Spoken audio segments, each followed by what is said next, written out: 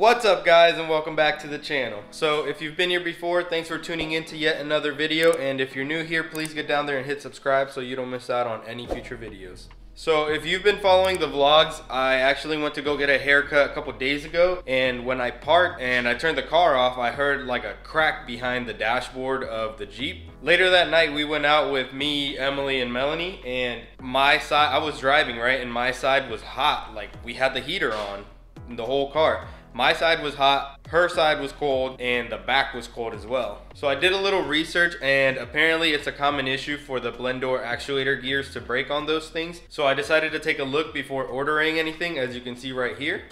Look what we have here. So the gear, this is half of it, broke off of the blend door actuator right here. The rest of it is up there. So yeah, basically I got half of the gear right here. So we have to go ahead and replace this. The gear is about like 22 to $23, something like that. So let me show you guys how to replace this so that if you guys ever have this problem, you know exactly how to fix it. It's actually pretty easy. All right, so I had to go throw on a hoodie because it is freezing outside. But anyways, when I first came out and looked up in there, um, I was actually able to take the gear off. The gear is or the actuator is actually right here as you can see. I just left it dangling. I was actually able to get it off with these three tools right here. So a trim panel popper basically to get these little clips off. There's three on the bottom that go along the bottom of the glove box. You need a long quarter inch ratchet and a short I think this is like an inch and a half uh, extension. I used an electric ratchet just because it's easier and faster. And then I use these little Torx bits that I have. I will post a link to these if you guys want to get some yourselves. It's a whole set and they come in very handy very often. So I don't know if my little panel right here is actually ripped right here or if it comes that way. Um, if you guys have done it or if you guys do it and come across this, let me know if yours is the same way because I don't know if mine is ripped or if it's supposed to be like that. All right, so I'm gonna take the glove box off. I probably don't need to, but I want to have as much room as possible to show you guys exactly what I'm doing. And I want to be able to line the gear up properly. So I'm gonna take all of this off and show you guys exactly how it's done.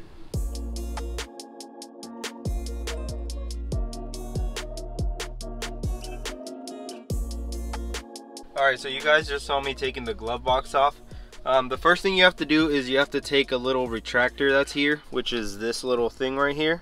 Um, just pull it down, then pop it out, and then let this thing retract all the way up. Then you want to squeeze these tabs. There's one here and one on the other side. Squeeze them, and then pull them down so you can get them out of these little slots right here. Once you do that, all you have to do is pull up, and then these three clips on the bottom rest on these three down here, and it just pops out, and you can put it aside. So now what I'm gonna do is I'm gonna take this plastic off. Uh, I think it's held by these four sevens right here. And I think they should pop out. Let's find out.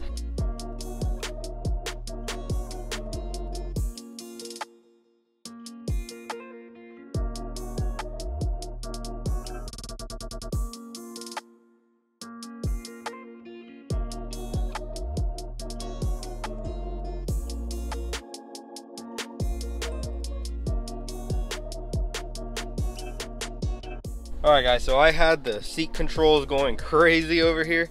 I forgot how far back this thing folds down. Um, but basically i got this plastic off. Um, let me show you guys.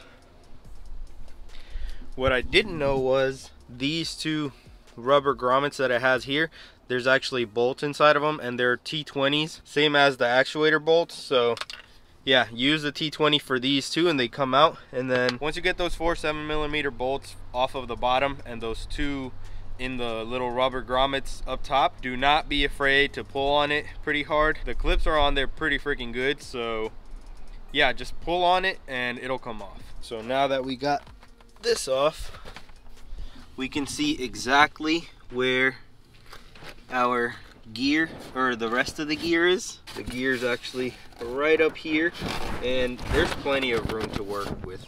And with these tools right here, you can take the actuator on and off So this is the actuator right here.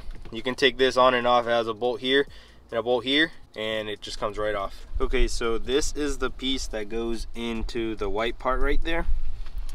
And then the gear goes onto the actuator like that. So this is all that's left from mine and this is what it's supposed to look like. So basically what you want to do is there's a big wide tooth right there and there is a big wide gap in the gears on this.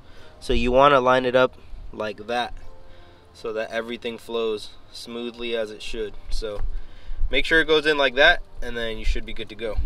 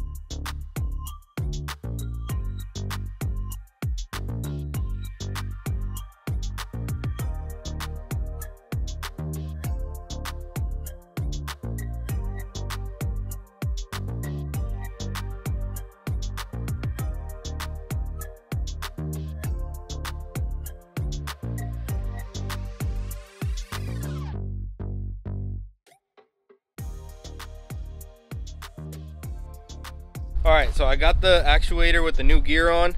Now it's moment of truth. I got my laser temperature gun and we're gonna see if it shoots the same temperature throughout the whole car.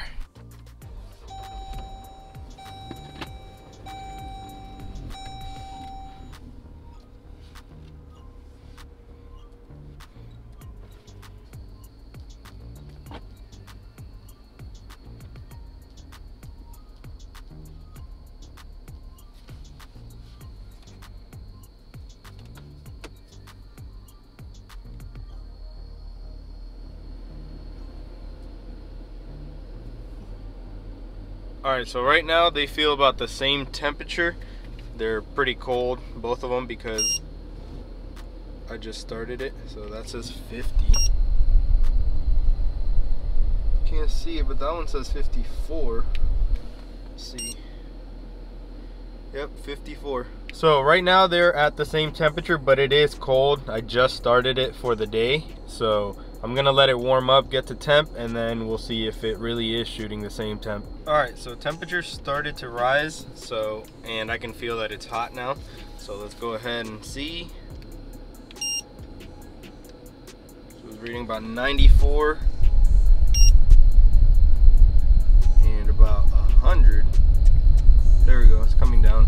So it varies because it's not pointing at anything in specific but yeah they're both hot now. So problem fixed. Now i have to go ahead and throw everything back on. Basically just repeat the steps you did to take everything off in reverse to put everything on and you should be good to go. So let's go ahead and do that real quick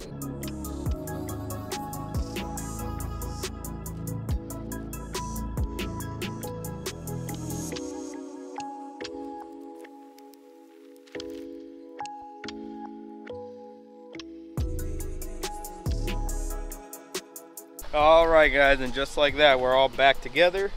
Everything is working and we can stay warm now. So just to recap on the tools i use um, flashlight is optional. You can use your phone. Long quarter inch ratchet with uh, one and a half inch extension. You want a seven millimeter for the bolt on the bottom of the plastic the trim tool for the clips and one of these sockets. Like i said i will post links to all the tools that I used or something very similar in the description in case you guys need them and or don't have them. I use this Ryobi temperature gun, but this you don't really need. I just wanted to prove to you guys that I actually did fix it. And this is the part number for the gear itself. You can get those at the dealership if you have one close to you, but if you don't, um, I'm gonna try to see if Amazon sells one and I'll post a link to that in the description as well.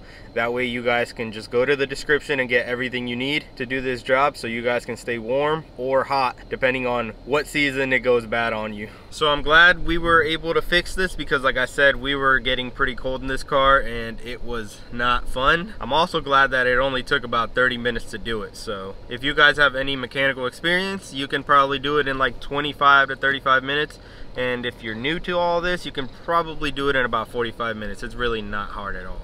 So that's gonna conclude this video. Thank you guys for watching. I hope you guys learned how to replace your own gear so that you don't have to pay the dealership. I've heard people say they've paid upwards of $500 for this. So just pay the 20 some bucks for the gear itself and do it yourself. So let me get off your screen now.